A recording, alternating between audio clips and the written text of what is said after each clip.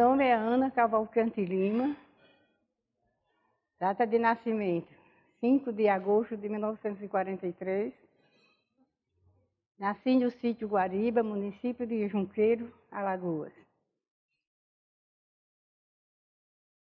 O nome do meu pai é José Ferreira Cavalcante e Alice Josefa dos Prazeres. Meus pais eram pessoas é, que viviam na agricultura, pessoas muito simples, trabalhavam no campo. É, minha mãe fazia bonecas de pano para a gente brincar. Tem sempre uma diversãozinha assim, convidava minhas primas, amigas para ir brincar lá em casa. E ela confeccionava aquelas bonecas de pano. A minha infância foi vivida no sítio Guariba, município de Junqueiro. Eu fui a décima, aí eu, eu fui estudar, meus irmãos quase não estudaram naquela época. O pessoal do sítio era muito atrasado. E depois, quando eu, quando eu cheguei à idade de oito anos, eu disse ao meu pai, eu quero estudar, não quero ficar assim. Uhum. Aí foi que ele conseguiu uma professora de Junqueiro e voltou em casa. Eu ajudava minha mãe nas tarefas do lar e eu estudei, eu não trabalhei em agricultura. É, pular corda, brincadeira de roda, subir em árvore. Era movimentado. Tomar banho de bica, nessa nascente, na propriedade do meu pai. Eram as brincadeiras da época. Tinha umas árvores centenárias na frente da casa onde morei, pé de jacarandá fazia bastante sombra. E, eh, no sítio era muita gente, tudo era família. E a gente sempre se reunia aos domingos para ficar brincando. Continuei o ensino de Junqueiro. O prefeito de Junqueiro construiu um grupo, e aí quando eu terminei o primário já fui para o grupo estudar, já vieram outras professoras. Ela era uma, uma moça solteira, é, foi quem me alfabetizou, né, Naquele tempo era o ABC, a cartilha, eu fiz com ela. Depois ela se aposentou, porque ela já era de uma certa idade.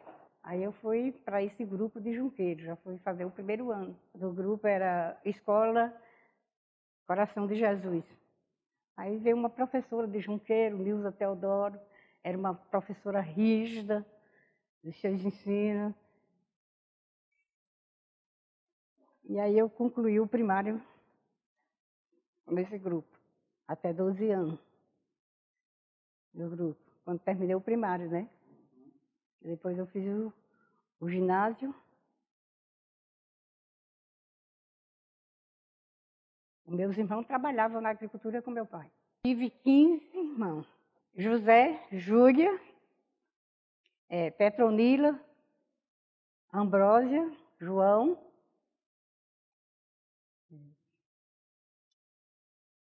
Cícera, Otávio, Zé Messia, José Neto, Ana, Luiz,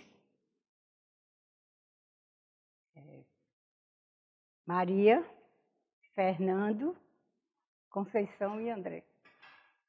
Faleceu José, o mais velho, Júlia, Cícera e Luiz.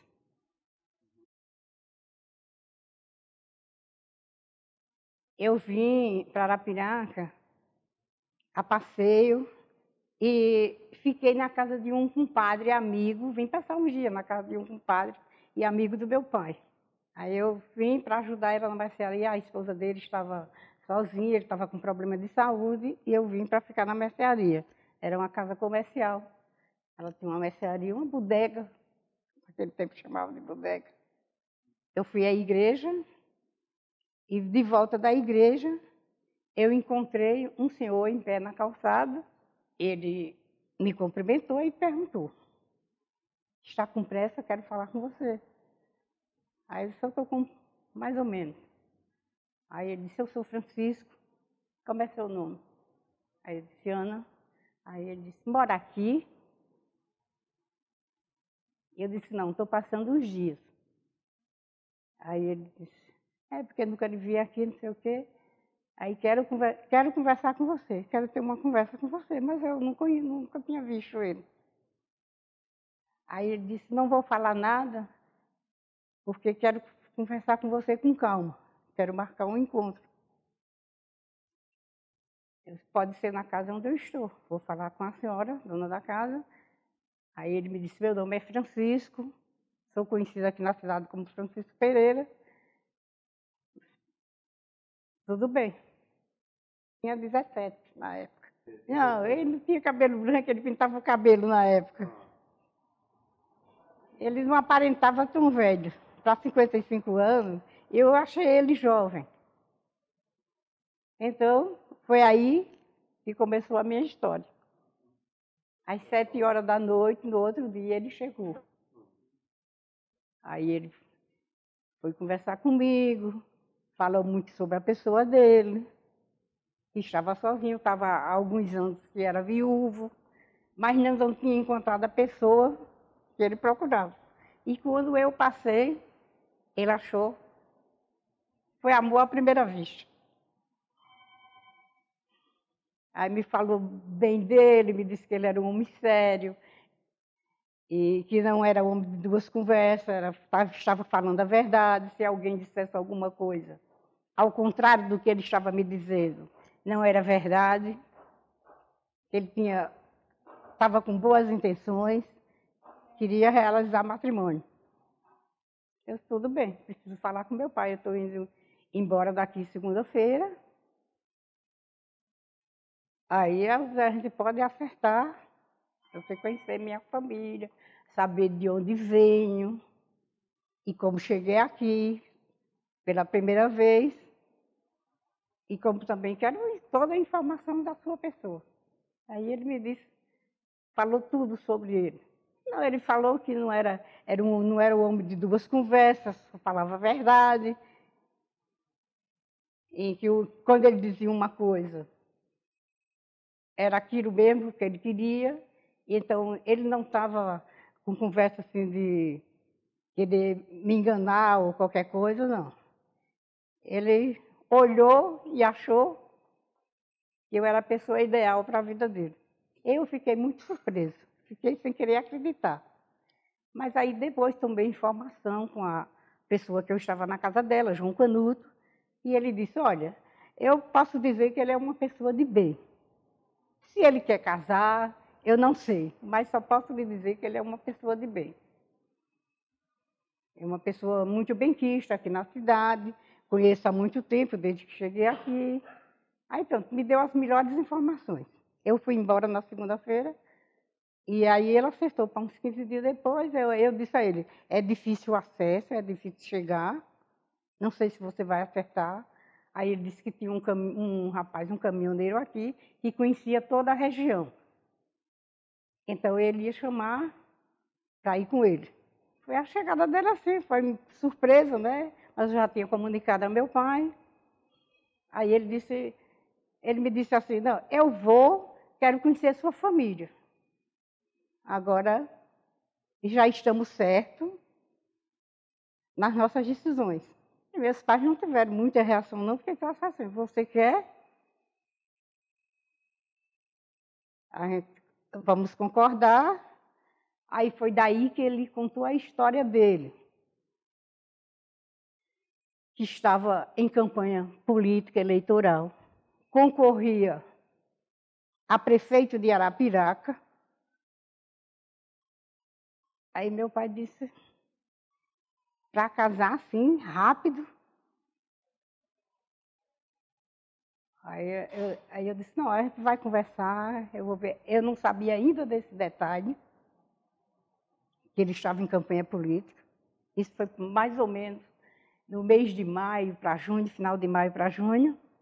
E a eleição era em outubro. Aí eu perguntei a ele, aí ele disse, eleição vai ser em outubro. Aí eu, eu, disse, eu, eu decidi que não casaria na campanha política. Aí disse, então você vai ter que esperar um pouco, deixar passar. Depois da posse, a gente conversa. Aí ele não gostou muito, mas aceitou. fica como você decide, como quiser. Por enquanto a gente vai ficar em silêncio. Ninguém sabia, que foi um encontro assim muito rápido. Então, ele concordou, mas um pouco preocupado. Ele disse: Eu fico vindo aqui de oito em oito dias. Quando tiver uma folga na semana, eu estou por aqui. E você pode ir lá para a Piraca, para a casa da sua amiga. Eu disse: Não, eu vou ficar por aqui na casa dos meus pais, até resolver passar essa fase política. Depois ele me ofereceu para eu vir passar uns dias com as irmãs dele. Ele tinha cinco irmãs em Arapiraca. Ele tinha quatro solteiras eram professora do Adriano Jorge. Eu disse, prefiro ficar por aqui e você vir aqui. E ele ia, todo domingo, às vezes sábado, à tarde, quando não podia ir no domingo, ia sábado à tarde. Mas ficou assim. Terminou a campanha, ele foi vitorioso, aí vamos aguardar a posse. Depois da posse, um mês depois, a posse foi muita coisa assim, a preparação. Ele entrar na prefeitura, ele demorou um pouquinho para aparecer na minha casa. Um mês, mais ou menos, depois ele apareceu, depois da posse. Tudo eu não quis participar de nada, não participei de nada. Aí ele disse, vamos resolver o, o casamento. Ele era de Serra Talhada, Pernambuco. Morou muito tempo por lá com os pais dele. Depois resolveu ser comerciante. Aí ele vendia vendia cachaça nos barris. Ele contava essa história. Resolveu sair de casa cedo. Aí veio, contava que saiu de Serra Talhada, veio para Tanque d'Arca. Em Tanque d'Arca, ele montou uma loja, comprando mercadoria em Maceió e vendendo em Tanque d'Arca. Cidade pequena, lugar, era, não sei nem se era cidade. Lugar pequeno, um pouco atrasado, e ele desenvolveu o comércio dele com a loja de tecido em Tequidá. Depois, teve a ideia de vir conhecer Arapiraca. Chegando em Arapiraca, ele disse que gostou muito do local. Era desabitado na época, mas ele andou e sentiu que era uma cidade de progresso. Voltou para Tanque d'Arca, ele era sócio com o irmão, Luiz Santo, em Tanque d'Arca. Chegou em Tanque d'Arca, conversou com o irmão, aí disse: Vamos conhecer Arapiraca, para ver se a gente tem condições de se mudar para lá. É um lugar, um lugar, bem mais, bem maior do que aqui, Tanque d'Arca. Aí o irmão concordou e vieram. Aí ele trouxe também um cunhado dele, que era casado com uma das irmãs dele, veio também, que era comerciante, com o irmão dele. Eram sócios os dois. Sócios os dois não, eram sócios os três. Chegando em Arapiraca, o irmão também teve a mesma visão de negócio. Achou que Arapiraca era melhor do que Itaquidá.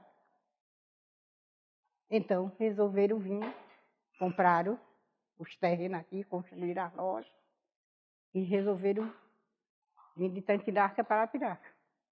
Aí ele já veio casado, trouxe dois filhos de Tanquidarca, os outros dois nasceram aqui em Arapiraca. E de, ele deu continuidade ao comércio dele. Ficou o irmão de um lado e ele do outro.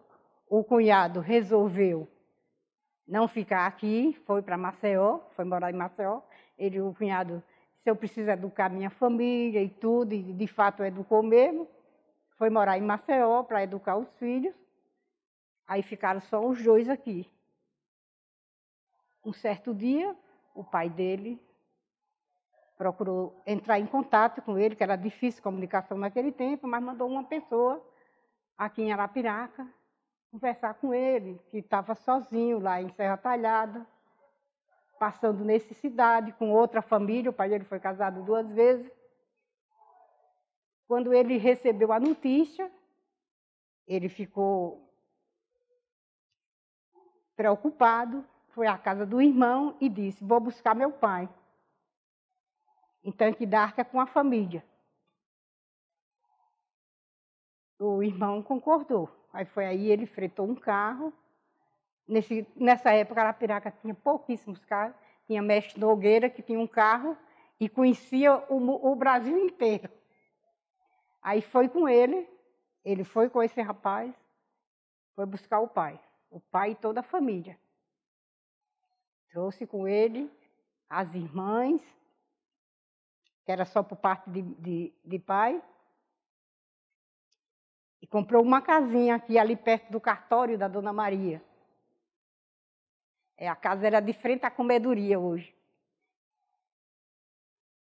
Comprou uma casinha, colocou o pai e disse ao pai dele: Fique tranquilo, vou botar minhas irmãs para estudar. Botou as irmãs em Maceió para estudar, elas terminaram os estudos, já vieram formadas e foram professoras aqui do Adriano Jorge. E ele ficou mantendo o velho até o dia que ele faleceu. Aí ele se prontificou para que eu viesse, viesse casar aqui em Arapiraca. Meu pai não aceitou. Meu pai disse, não, ela só sai daqui casada. E eu faço o casamento dela aqui em casa mesmo. Ele disse, não queria festa, só queria apenas o casamento. Foi muito simples. Eu casei na casa dos meus pais, foi com o juiz, o padre, quatro padrinhos, meus irmãos, as irmãs dele. Foi realizado o casamento. O padre foi padre Maurício, de Limoeiro. Ele era de Limoeiro de Aradias. Era meu parente ainda. Meu pai acertou porque ele foi fazer o casamento na fazenda, no sítio. Era na Rua do Comércio, a loja e a casa de residência ao lado. Na loja comercializava tecidos, confecções em geral, material esportivo, cama, mesa, banho, é, artigo para capoteiro. E outros artigos de armarinho, de costureira, era muita coisa. Eu fui logo para a loja e ele foi logo começando a, a, me ensinar tudo. Eu não sabia de nada. 18 anos, muito novinha, mas ele disse: Você vai aprender.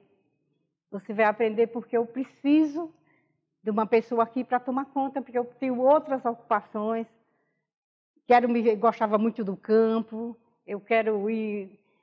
Tinha a, a, tinha a vida política dele ainda na prefeitura, aí ele exigiu que eu ficasse na loja para tomar conta. E ele disse: Isso aqui é seu. Você vai tomar conta e vai crescer. Eu dobrei o movimento da loja. Eu tive dificuldade no início, né? Foi um aprendizado. Mas um aprendizado que valeu a pena. Atendimento ao público, gerência dos funcionários, porque os funcionários já era tudo antigo na loja. Às vezes eu queria desistir ele me encorajava. Não, não pode ser assim. Ele ia, tem empregado cada um no seu lugar, você é dona, você tem que ir fazer como você quer. Ele no início ele ficou do meu lado, vamos dizer assim, uns três meses, me orientando, chegavam os representantes, aí ele ficava comigo, me chamava, venha fazer as compras. Daqui a pouco,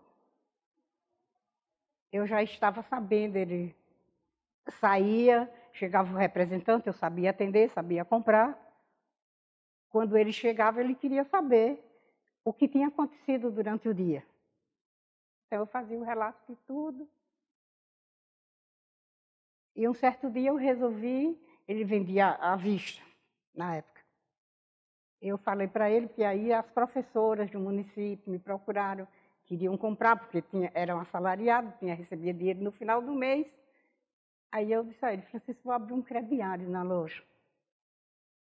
Aí ele concordou. Acho que vai dar certo. Acho que sim. Aí eu fiz uma boa clientela na loja. A professora comprava tecidos, é, confecções, cama, mesa, banho. Aí surgiu também donas de casa. E tudo comprava a prazo. Armazém Narciso, tinha lojas paraibana, é, Casas Oliveira. Tinha, tinha a loja também do irmão dele, que era semelhante à nossa. Era Casa Santos. Eram várias lojas, várias concorrências de artigos que eu vendia. Depois eu fui diminuindo um bocado de coisa. Deixando as coisas que tinham mais rotatividade. Era tranquila a cidade. Eu sei se você lembra a Rua do Comércio, como era. Tinha uma calçada, um passeio, onde hoje é um calçadão. Hoje é uma diferença estúpida. Era pequena, a Rua do Comércio era pequena, tinha a feira de dia de segunda-feira, que preenchia tudo ali. Não, não tinha muito carro. Era poucos carros. Aí tinha muita gente assim, tinha o irmão dele, ele, o gerente ali da, da Narciso, quase todos os comerciantes tinham carro. Já muito tempo depois. Quando meus filhos cresceram um pouco, que eu necessitei de levar eles no colégio, aí eu fui aprender, fui para a escola. Eu tive cinco filhos. Nome: Fernando, Flávio, Fábio, Anne e Franciane.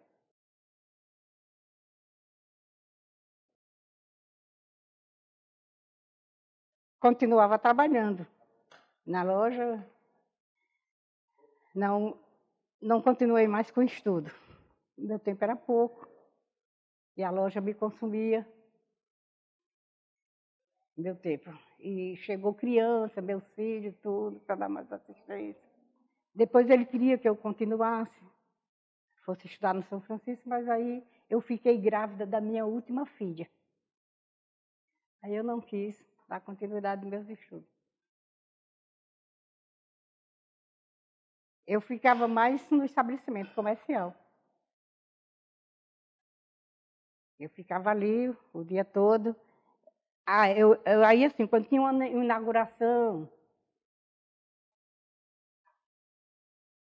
uma festa na prefeitura, assim, uma comemoração de alguma coisa, eu estava sempre com ele.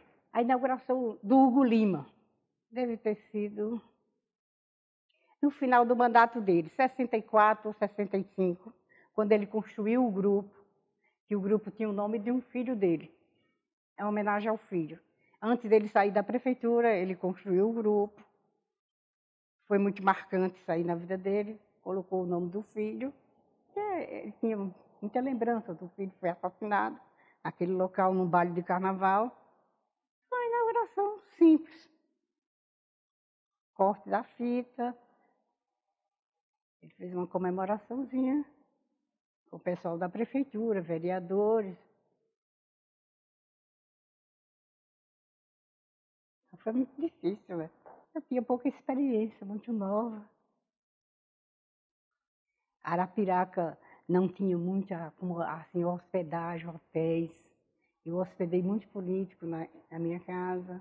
Major Luiz Cavalcante, a esposa Teotônio Vilela, que era o vice-governador da época. Foi o maior contato que eu tive com político, foi o governador Major, o Major Luiz Cavalcante e o, era o Teotônio Vilela.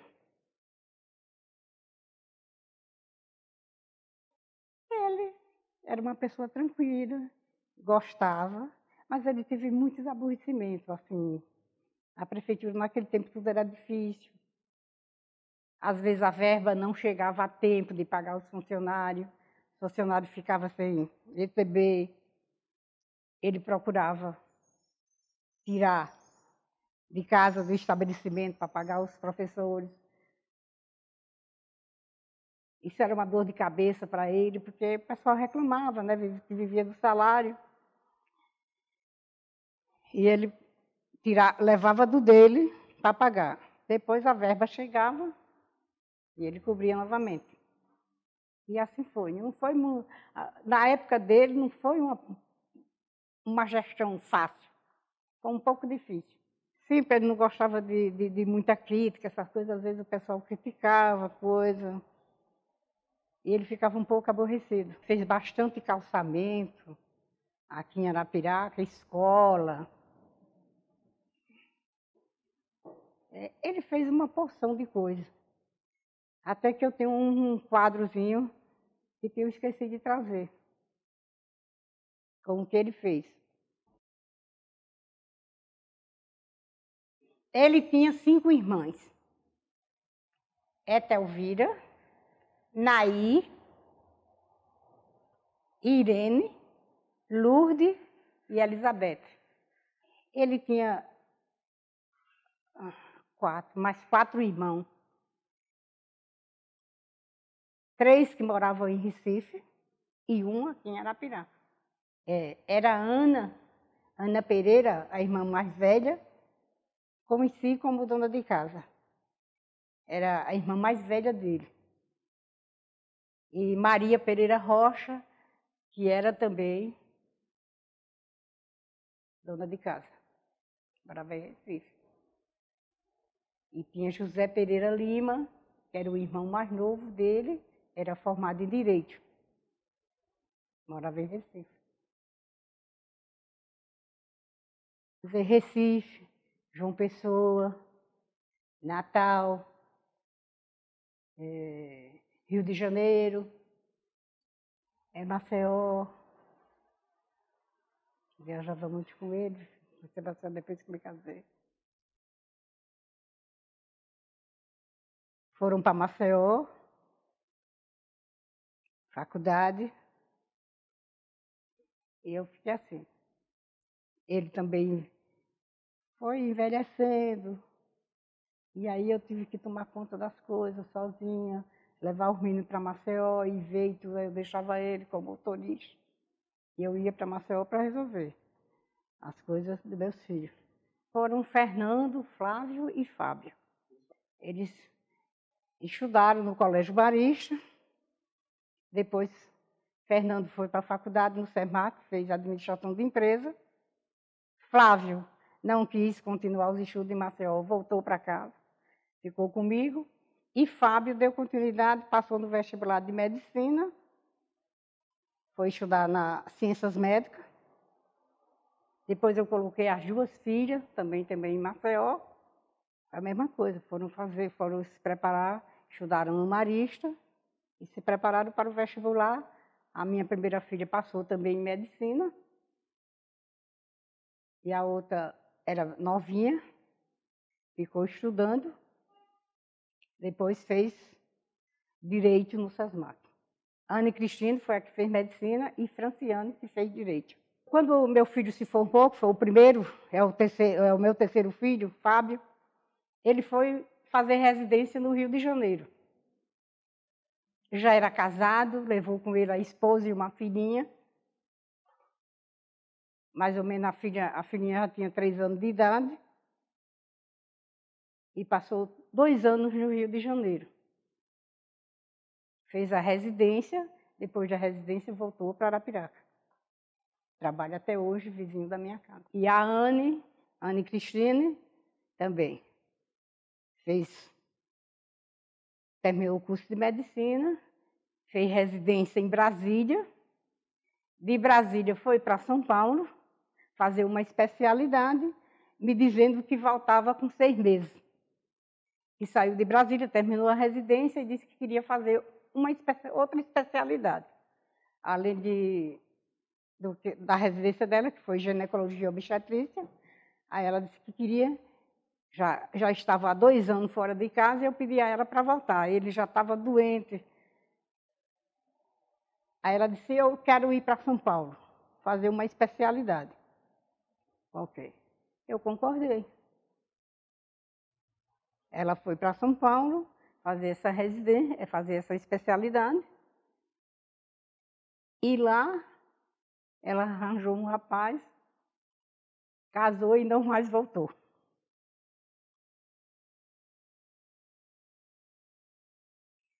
Eu continuei com meus filhos, trabalhando. Hoje não faço mais quase nada. Orientando, porque ainda era, to, ainda era eles eram muito jovens ainda, só tinha um mais velho. Fábio era estudante, Flávio também, e as duas meninas.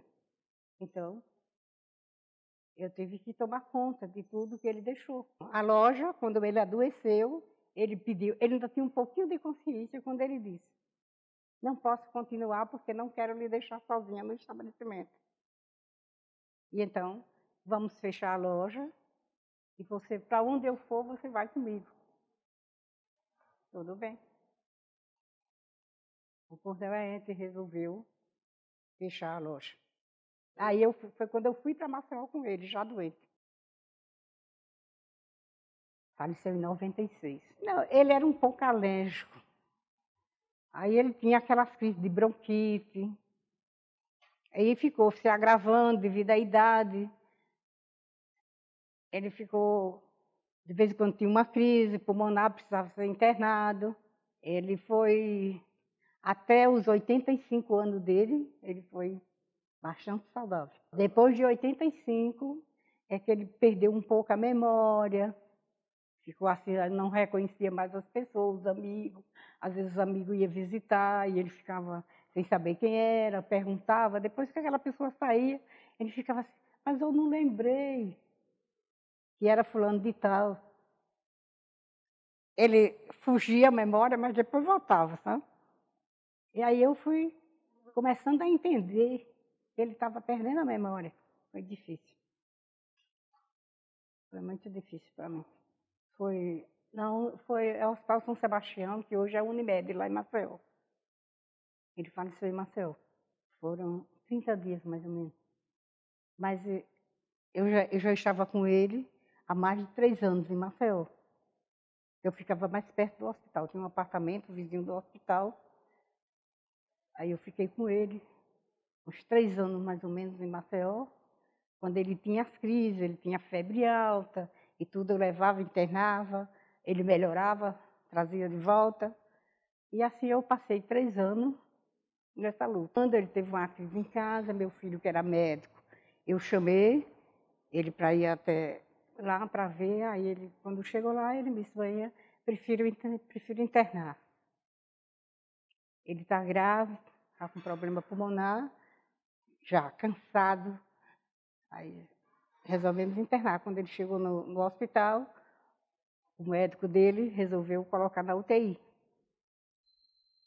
Aí então eu disse, é, eu falei para o médico, eu disse, ele pode ir para a UTI, agora eu quero ficar ao lado dele. Quando eu precisar entrar na UTI, o médico facilitar a minha entrada na UTI. Ele disse, quantas vezes a senhora quiser chegar, você vai falar, eu entrava, passava algumas horas com ele, ia de manhã, de tarde, à noite ficava com ele na UTI. Às vezes ele me reconhecia, ele nunca deixou de me reconhecer.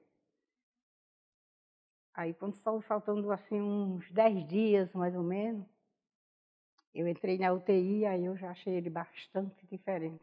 Estava fisionomia já muito abatida.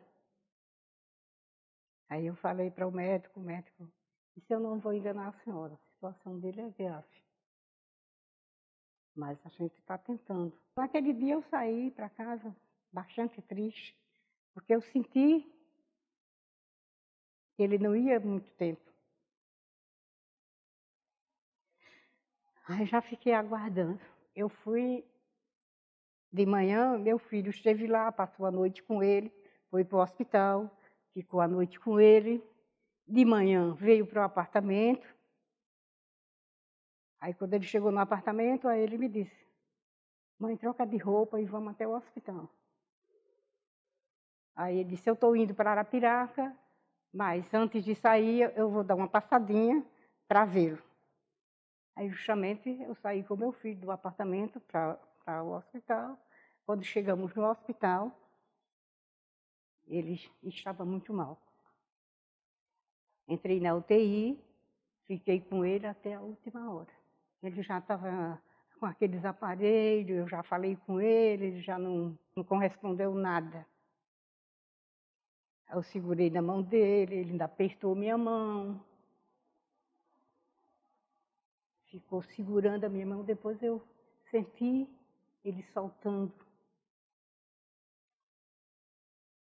Aí foi quando o médico estava em pé, ao lado da cama. Aí olhou para mim e disse, não existe mais vida. Esse momento foi muito difícil. Assim eu fiquei muito emocionada e achava que eu não ia resistir também. Aquela perda que foi muito difícil. Mas é um pouco. Eu fui melhorando e pensar que a vida era assim mesmo. Viemos aqui, foi para ficar o resto da vida. Ah, maior lembrança dos passeios. A vida familiar em casa, que ele era muito apegado à família. Trabalho, honestidade, garra. Era o que ele passava para os filhos. Fiquei morando em Maceió durante três anos, mais de três anos. Eu ficava lá, dava uma... meu filho ficou tomando conta das coisas, meu filho mais velho ficou tomando conta das coisas aqui. De vez em quando eu vim em casa para ver como é que estavam as coisas e voltava que eu não podia deixar ele sozinho. Ele não se dava bem com ninguém. Aí eu, ficar, eu tinha que ficar sempre ao lado dele. Fiquei durante todo o tempo. Renunciei tudo da minha vida para ficar com ele. Não.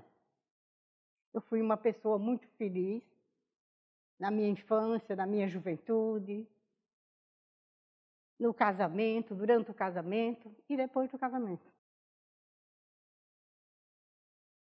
Na infância, quando eu era criança, é muito engraçado. Eu admirava muito a medicina. E eu dizia para meu pai que eu queria ser médico. Isso era um sonho de criança. E eu ainda casei pensando, mas eu realizei esse sonho com meus filhos. No dia que o primeiro se formou em medicina, para mim foi o maior, o dia mais feliz da minha vida. Mas foi a perda do meu marido. Porque desde criança, minha mãe tinha um oratóriozinho e tinha Santa Rita. E o pessoal fazia muita promessa com Santa Rita. E eu ficava observando. Aí eu passei a ser devota de Santa Rita. É, fiz alguma promessa, fui atendida. Passando para ele, eu, eu digo assim, que eles procuram imitar o pai ou o avô que tiveram. Um homem trabalhador, honesto. Isso eu passo para meus filhos toda hora. Espelho que vocês têm na vida. É o pai que vocês tiveram. Sou muito ligada a meus netos, bisnetos, meus filhos são muito ligados à minha família. Fernando tem dois filhos. Tem o filho, uma, tem a filha mais velha, Ítala, e Fernando. Aí vem Flávio, tem dois filhos também, um casal. Anaísa e Flavinho. Fábio, que é o dono dessa casa. Tem três filhos. Caroline, Mateus e Monique. Aí vem Anne, tem uma filha, Catarina. E Franciane, que é a mais nova, tem um casal. Maria Clara e Guilherme. Bisneto, Tenho três. Sofia e Carlitinho. E agora essa princesa, que foi, chegou no dia 16 de novembro, um presente de Deus para toda a família. Maria Beatriz. Considero uma pessoa muito feliz na minha vida. Fiz tudo o que eu queria fazer. Me considero uma pessoa realizada. Estar com a minha família, estar com meus filhos, estar com a minha família, conversando com meus netos. Adoro. É, aí brincando com os bisnetos. Eu ainda mexo com alguma coisa de cozinha na minha casa, no meu lar. Eu morei na Rua do Comércio, no estabelecimento comercial, e depois na Avenida Rio Branco. Permaneço até hoje. Era um pouco deserto. Hoje está bem habitado. Quando eu cheguei ali, não tinha muitas casas. E o clube do sumicultor ali de frente, mas depois foram construindo Chegou o supermercado, PC Pneus. E aí hoje já é comercial aquela rua. Já tem poucas residências. Meu vizinho era, era um armazém. Rafaelito. Era da Bahia. Era o meu vizinho de lado. Morava na casa de frente. O pai do doutor Edmilson morava também de frente. Depois tinha a igreja batista e uma casa do pastor. Ele foi um dos fundadores. Eu não lembro a época da, que foi construída, mas ele foi um dos fundadores do Clube dos Escultores. Frequentava. Ele tinha mesa cativa. Era quando tinha baile, festas de aniversário, todas as comemorações que eram feitas ali no clube, a gente estava sempre presente. Seu Alonso de Abreu com a esposa, Florisval Barbosa, Ieda Fernandes com o doutor Zé Fernando, doutor Judá, doutor Geraldo Lúcio, doutor Boaci, doutor João Batista. Era todos, frequentavam ali o Clube Cinco era muita gente. Foi muito gratificante e emocionante poder reviver esses momentos da minha vida, da minha família. Eu tenho o maior orgulho de fazer parte desse projeto. Ter sido convidada e agradeço de coração o amigo o deputado Ricardo Nezinho pela brilhante iniciativa desse projeto.